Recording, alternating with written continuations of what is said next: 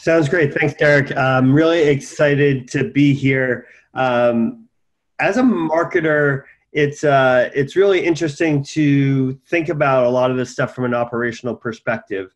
Um, so I'm going to give you a bunch of things you can use today um, to focus your efforts, right? To to set it and forget it from a marketing perspective, so that you can really focus your efforts on the operations part of the business um, in real time when things get crazy.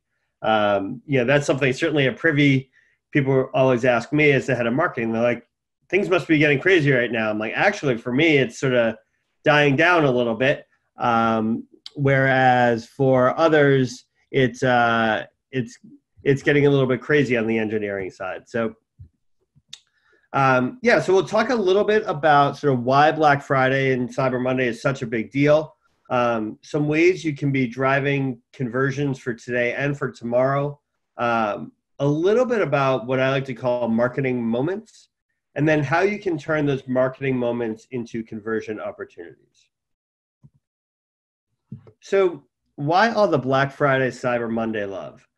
I think there's a there's a few things going on here. Some are real and some are sort of manufactured, right? So the there's a whole bunch of things that um, you know Black Friday over the years is something that sort of happened, and then marketers like we do kind of jumped on it and made it bigger and and more maybe unnecessary than it needed to be. Um, but it's really this manufactured event designed to spur sales, right? You're talking about a captive audience at a captive time. Um, frankly, it's great branding, right? Black Friday, it sounds great. There's a lot of excitement around it. And it really jumpstarts the holiday shopping season. So, what does that really mean? It means that your business is spending more on advertising, your competitors are spending more on advertising. More shoppers are out there looking for products like yours, which creates more conversion opportunities and more opportunity as a business. So let's look at last year. I think most of you guys probably already know that, know some of these numbers, but there was over 6.2 billion dollars in sales for merchants of all sizes. Shopify sites alone produced one and a half billion dollars in sales. Um, among that, email was the top channel for driving sales. I think we also saw that the shopping started really early last year, and it actually most of the holiday shopping spikes that we saw across our network in traffic started on Thanksgiving or even the day before Thanksgiving, things really started to ramp up. People aren't waiting for Black Friday anymore. And then over the weekend, we saw just in our network alone over a million orders that were that sort of flowed through Privy forms and, and things like that, and over 550 million new email, 550,000 new email addresses in three days. And of that, 70% of the traffic was coming from mobile devices, right? So, really important to think about that. When we think about conversions, right, when we talk about turning your site into a conversion engine, there's really two types of conversions that we're talking about. The first and the most obvious is really that purchase, right? That's what we're all thinking about. We want to get that first sale from that new customer, right? It's the most exciting part of an e commerce business. But I think we also know that not everyone's ready to buy and that that first purchase is just the beginning of a relationship. So that opt-in to future communications is just as important, if not more, for the long-term success of your business. In fact, we looked across our network of uh, this is data I pulled on about 20,000 Shopify stores and found that for every email subscriber captured, $15.23 of revenue is returned. That means these things are really, really tied at the hip. So we're going to talk about ways to do this programmatically instead of sort of scrambling at the last minute. As we all know, lots of things contribute to conversion. Things like site traffic. You know, how are you getting people to the site? Are they the right people? What is the offer that you're giving them? Um, but certainly more operational things and, and technology based things like site speed right? Super important to make sure that everything is working correctly on your site. You have a good checkout process. Um, you've got the right products. Certainly, what the competition is doing. But again, in my talk, we're going to talk mostly about the on site shopper experience. So, one of the things I sort of mentioned Black Friday, when we were talking about Black Friday, I mentioned sort of like a marketing moment, right? What does that mean? it's really there's two ways to think about it. One is a point in time that already exists in the world that you can latch onto, right? Think about something like Cinco de Mayo is a great example, uh, where Corona a few years back really took it on as its own marketing moment, right? Now they sort of own Cinco de Mayo, but they didn't invent Cinco de Mayo. They latched onto something that existed in the world. Black Friday, great example of that. The second, which can help you deeper into the holiday season, is to create your own point in time, right? Whether that's a special sale or a promotion, or my favorite one is always uh, Ben and Jerry's Free Cone Day, which happens in April you know they invented that holiday it became a thing and now all of their customers and the market at large sort of revolves around free cone day as as this event that they created. But those aren't the only marketing moments in the calendar. There's actually a whole bunch of different holidays that happen between now and the end of the year that you can use to help drive your promotions and drive your sales um, and drive urgency for people who are visiting your site. Another thing that's super important um, as a marketing moment you know you may be thinking about it only operationally like but shipping deadlines are super important to think about uh, both operationally and from a marketing perspective right there's nothing worse than getting someone to make a first purchase on your site they order something and instead of being a happy customer they're frustrated because the product didn't get there in time they didn't have a gift to give or the right gift to give. And then you're frustrated because they're looking to make a return or you're dealing with it via social media or via support. So shipping deadlines have sort of a double sided thing where you can use it to your advantage as a marketing moment. And we'll talk more about that in a little bit. So let's talk about those set it and forget it conversion drivers that I mentioned earlier, right? These are sort of marketing focused. And because, you know, as Derric mentioned, Privy is really focused on on-site displays, things like pop-ups and banners and bars, as well as automated email marketing. So things like newsletters and announcements, certainly, but also cart recovery emails, order follow-up emails, things like that. So that we're really going to focus some of these tips, whether you use Privy or not, uh, on those types of activities. The first is to make sure that you're scheduling a welcome pop-up well ahead of time, right? This is a great way to get those early opt-ins, right? The bigger your list is, whether it's an email list or an SMS list or even your Facebook Messenger list, getting those opt-ins early and often builds the audience that you can go back to time and time again through the holiday season. It also opens up the pool of people who are eligible to receive your abandoned cart emails. The second is sort of the inverse of that experience, right? So reducing abandonment with sort of pre-scheduled, what we call cart savers.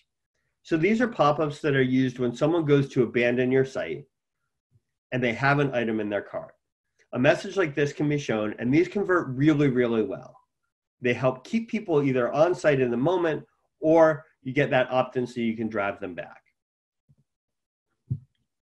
And then certainly driving urgency with short-term sales, right? People want to know when they need to make a purchase to get this awesome discount. For better or worse, we've trained shoppers now to really focus on getting discounts through the holiday seasons. So yes, your products are important and your site speed is important and all of those things are super important. But that expectation around some sort of offer is really high. So use that to your advantage. Put time boxes on it, whether it's that Black Friday weekend, whether that's specific moments in the holiday season. We'll talk more about that and then use those automated emails to bring back people who have abandoned their card right? These don't need to be complex highly designed things. These are these are emails that you know you don't have to be a marketer to, to any of the things that we're talking about. You can be an operator you can be a ceo you can be an intern. All of these things are, are really easy to accomplish and to set up way in advance so you can focus the real time is your real time on real time issues so an email like this sort of serves as a reminder that someone has left something in their cart. It also helps drive them back to the items that they've that they've left behind. So really simple, direct message. Uh, in this case, with a discount code. And then, you know, as I mentioned a couple minutes ago, really reinforcing whether it's discounts, but even more so these deadlines with persistent bars can be really powerful, right? So again, the worst thing you can do is have someone decide to purchase from you for the first time, you know, whether you're a big brand or a small brand, it doesn't really matter, and then they don't get their item on time. So I would say use those those published deadlines, whether that's postal service or whatever shipping provider you have, will probably be able to or should be able to s- supply you with those dates and then add a few days of buffer, right? Most of us are never going to compete with Amazon on shipping time, but we can be smart about it and actually set ourselves up for success way ahead of the time. And then I think using that same message, right, those shipping deadlines to drive urgency from people who have abandoned their cart at any time recently, right? Use those dates to your advantage. Come back and get free shipping on all orders over $50. We guarantee pre Christmas delivery if you order by December 10th, right? This is a really email, easy email to send. Anyone in your organization can write this and drive people back to your site. And then there's also other things you can do, right? Again, this is all about setting yourself up for success so that you're not scrambling during the busiest time of your year, right? So schedule all of your one-time social posts, all of your emails. There's great tools out there like Hootsuite or HubSpot or any of your email providers, certainly Privy. You can schedule all of these things in advance so you're not scrambling. So we talked a little bit about some of the offers that you can use to drive conversion on your site. I think a lot of brands, especially more premium brands, are thinking, I don't like to discount, right? So that's a little bit of a, ch- of a challenge this time of year because we've kind of trained everyone to expect a discount. But that's not the only way to go at it. So there's really three things you want to ask yourself. What do your visitors care about? What is the behavior behavior you're trying to drive? And what can you afford to give? And that third one is super important. You know, I think oftentimes it's very tempting to give this big, huge discount, and you you wind up burying yourself or making your holiday season not profitable when it should be the biggest time of your year, right? Just getting a new customer doesn't make a lot of sense if it's costing you too much to turn them into one, right? If you're giving away too big of a discount or your ad spend is too high, it's actually not great for your business. You really need to think through what do they care about? What is the behavior you're trying to drive? And what can you actually afford to give? So we did research uh, earlier this year. Uh, we went out to about 500 consumers just to understand how they like to engage with brands. And what we found is that 89% of people will opt in for a discount, right? So that could be an email opt in, that could be an SMS opt in, that could be a, uh, a Facebook Messenger opt in they're willing to do it in exchange for a discount.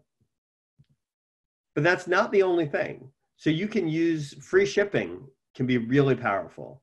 If you have a strong brand, 41% said they would opt in just to stay informed. And then free content is something that works for about 34% of the consumers that we talk to. Right. So you don't have to discount. You've got a bunch of really good options, um, even though discounts definitely are the top top performer.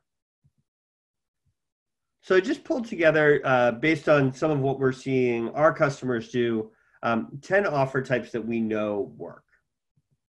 So the first is just the standard welcome.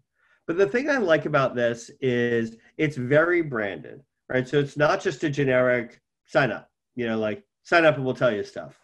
No one wants that. But this feels very alive. It sets an expectation that there's going to be value in what you're in what you're receiving. The second is that welcome discount, right?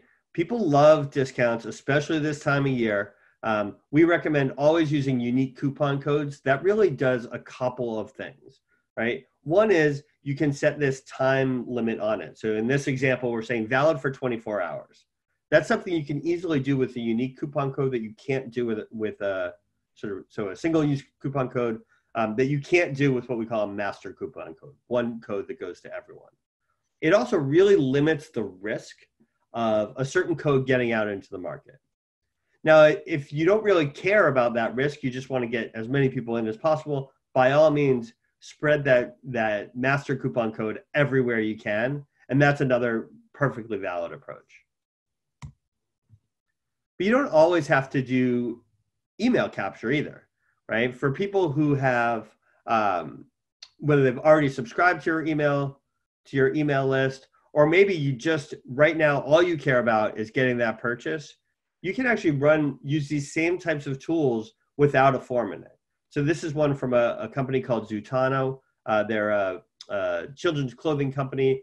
They use and they get huge results off of this uh, that's triggered when people go to abandon their site here's it and then they have another version that they test which is the same concept same company but without a discount in it. And this also performs really well, right? In terms of clicks and actual sales. And here, what they're doing is they're driving urgency by focusing on products that have low inventory. So that's another thing you can really use to drive urgency. Another really good offer is uh, offer type is these sort of like gamified discounts, right? So um, people love to think they're you know to attempt to get a great deal you can actually control how often each of these winning pieces comes up um, but these are our top converting campaigns from getting people from unknown visitor into known subscriber. So you can set this whole thing up. People have to enter their information um, the wheel spins and, the, and they get a discount or free shipping. Or if you want you can put losing slices in there as well. Another really powerful thing that you can do, and again, these are all things you can set up in advance of the busy hot shopping season, is these sort of add to cart campaigns, things that drive up order value, right? So this example is uh, is offering an additional product based on what's in someone's cart um, with a simple add to cart button right from the pop up itself. So these these can work really really well. Usually it's a complementary item, not like a wholly new purchase um, that drives up that average order value. You can actually take these things a little bit further too, right? So um, by using things like geo-targeting. So in this example, uh, there's one version that's really focused on in-state residents. Is a company called Copper Closet. They're largely based in Florida. They have online and retail, um, where they're they're focused on the left hand side, the Florida residents on Florida based merchandise. On the right, they're focused on a different set of merchandise. And they use geo targeting to determine who sees which of these offers. But again, these are complementary items that are added to the cart after someone's already on their way to making a purchase. And then certainly your classic like buy one, or in this case, buy six and get one campaign um, that can really be excellent conversion drivers for you. Another example here is to really combine online and offline sales by having an offer that's designed to drive people into the store. So whether that's a convenience thing for the for the customer, uh, driving people to in-store pickup, um, we've also seen these work really, really well to get people in store, and then our customers report back that that drives incremental sales as well. So some key takeaways here, and Derric will have time if you have a couple questions um, are to really leverage existing marketing moments in the world, things beyond just Black Friday, um, other holidays, um, but also to create your own, create that weekend long sale uh, that you can really use to drive urgency. Number two is to really plan ahead with set it and forget it campaigns, right? You don't want to be scrambling to try to get your marketing going when you also need to be handling support and on the phone with your logistics teams, right? you want to be able to set these things up, forget that they're happening, and see the results come in. Third is to choose the right offer for your business, right? So think about what your customers really value and then what you can really afford to deliver. Fourth thing is to really keep it simple, right? I think there's there's a lot of things you can do, but just because you technology makes it possible doesn't mean you should always do it, especially if you're trying it for the first time at the busiest time of year, right?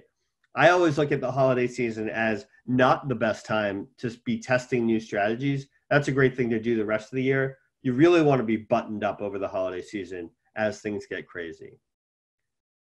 Next is to, to sort of test everything, right? So that's your mobile experience, your website experience, any of the tactics that we've talked about here. Make sure that you and your team are testing extensively have friends and family who know nothing about business go and run through these experiences to make sure they make sense. Oftentimes, we're too close to our own to our own work, uh, so make sure that you're testing everything and you're doing anything you can to get your systems ready to handle increased traffic. And then lastly, just enjoy the ride. You know, this can be the most stressful time of year for e-commerce merchants for sure, but it can also be the most fun. You know, seeing those sales those sales start to come in, seeing those new email subscribers, those new SMS subscribers come in should be fun. It should be exciting. So the only the only pitch I'll give you on on Privy is if you want to get started today with some of these tools, uh, we offer a 15 day free trial, unlimited uh, traffic within that trial, um, and then very affordable pricing and scales based on the traffic that you get to your business. Uh, and our email plan is also available. That starts at ten dollars a month. You can check all those out at privy.com slash sign up. Perfect. Awesome, Josh. I, I, I love it. And um, we do have a question for you in chat. And since we have a couple extra minutes, you finished a little early. I, I want to hear your answer to this. um, William asks, what makes Privy better than the pop-ups built into Klaviyo? oh, it's great. That's a great question. So there's a few advantages. So Klaviyo has been a good partner of ours for for years, and there are lots of cool things that they're doing on the form side. I think ultimately the question becomes why should you pay for Privy instead of using free uh, forms? So um, I think there's three things to think about there. One is the flexibility of the designer. If you're someone who has a really nice website and you want to fully customize your pop-ups and your banners and your bars and all of that stuff, uh, really make them feel part of your site, you're going to get a lot more design tools from Privy than you're going to get uh, from Klaviyo. Um, in addition, we offer a couple different display types that they don't offer, like that spin to win campaign, uh, some other things there. But really, the designer is one part of it. The second thing is we have a lot more pre pre opt in targeting rules than what you'll get from Klaviyo. So Klaviyo does a really good job with segments. Some once someone's a known customer. They do a lot. We do a lot of similar things there. Um, but prior to to sign up, uh, Privy actually has significantly more audience targeting rules that you can use. So based on different traffic sources or page views or other campaigns they've seen, uh, there's just a lot more logic built out there. And then the the third reason that people will use Privy forms over Klaviyo forms is um, is our customer support team and, and success. We offer unlimited support to all of our users, no matter what you're paying us. Um, if you're paying over a certain amount, uh, you get a dedicated CSM, but certainly we help uh, anyone who is using Privy. So that, those are some of the reasons that people tend to, you know, we've got tens of thousands of, of Klaviyo users who use Privy as well. Um, and those are some of the reasons that they do that. And from my side, as as like maybe uh, having tested this as a merchant, um, what I would say is that yeah, Klaviyo has the basic features, but when, you, as an example, when you're driving traffic from different ad campaigns and you know the creative of that ad campaign, like maybe you're using a large influencer in this ad campaign, you create the pop up that is the same influencer, right? So the, the story continues in a sequence, and the ultimate real reason is that allows you to increase conversion rate. You're going to see higher email conversion rate, faster trust building, faster conversion point to sale. And all of that matters because, like I said, if this is an ad campaign, we need to return on ad spend as best as possible. We're operating on thin margins here. So there is opportunity there. Now, that being said, if you're not, if you don't have enough resources for Privy, then the free pop-up tools from Klaviyo are a great starting point. But at some point, right around the million dollar mark, I feel like you're going to want to expand, you're going to want to segment, you're going to want to get more personalized with your offers on, on each page. And that's when, when this tool really starts to shine. I also did a video review of Privy uh, that I'm sharing here in chat to everyone. Uh, right below the video are some images. If you scroll to the second uh, image thing in the middle image, you'll see all of the attributes that you can uh, select by. There's uh, city, state, UTM source, uh, coupon code that they may have used or, or uh, have been given access to, the current URL, where they came from, et cetera, et cetera. And so the, the really detailed segmentation and targeting. Um, yeah, and you can you can sort of stack all those things on top of each other too, right? So I think you know the combination we see you know a lot of success with rel- relatively simple targeting, but we also see advanced users who are you know stacking those things to cre- together to create like really cool on-site segments um, based on frequency of visit, number of visits, and and you know device and items in cart and, and stuff that um, Klaviyo is just not able able to get at in the in the same way. Yeah, I heard your CEO took over uh, the Privy account for a store one time. is, is, yeah, Ben has definitely been known to do that. Yeah, he um, you know, the best way to learn for us is often to just sort of get hands on and, and get in there. And um, you know, I think you, you'd be surprised how you know even really large businesses aren't doing some fundamentals here um, you know where they're where they're not focused on on growing it. And, and ben drove some huge successes a great back and forth. I can post the link to it uh, between kurt uh, Kurt Elster is speaking later today and, and ben talking about some of the results they got in that test. So um, there's some cool stuff there. I think the the one other thing i forgot to mention that's a little different about using uh, Privy forms versus Klaviyo forms is you know we're a little more agnostic on where we'll send data. So we'll certainly capture and send data to Klaviyo. You can use it within Privy but we can also um, send it to other systems whether that's through Zapier or direct to something like AdRoll. Um, we're a lot more agnostic about where we'll send the data. So um, if you're using a whole bunch of different systems that's another thing to think about yeah yeah where where is your data going we need that central place and while Klaviyo is maybe working their way towards being that full-fledged customer data platform, I still have qualms with what they are capable of. So it's missing a few things. Um, I talked about that in the e-commerce fastlane po- uh, podcast with Steve Hutt a little bit. That was uh, fun. um, all right, I'm going to bring Lucas in here. Thank you so much, Josh, for the time. Uh, yeah, I always a pleasure to to hear from you, and I'm sure we will be seeing you again soon. Sounds good. Thanks, Derric. Good luck this holidays, everyone. Yeah, good.